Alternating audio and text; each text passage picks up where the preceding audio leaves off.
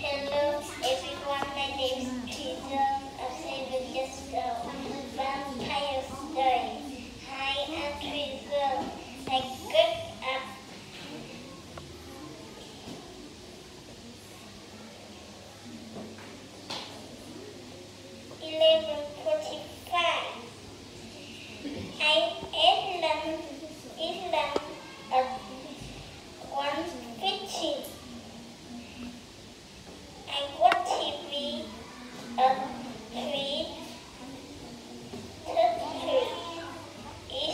Thank you.